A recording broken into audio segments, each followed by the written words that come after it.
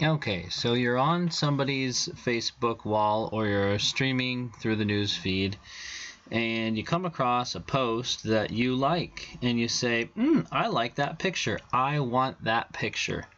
How do you get that picture from Facebook onto your phone? Well, all you've got to do is just tap the picture. It'll bring up the picture. If you're here, this is just the wall or the news feed. But if you tap the picture, it'll bring up the picture. Then what you do is you long tap the picture and it'll give you some options. One option is save photo.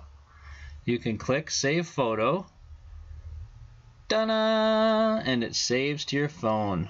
So you can go over to your gallery. This is for uh, an Android phone and then look at your pictures. Look at that.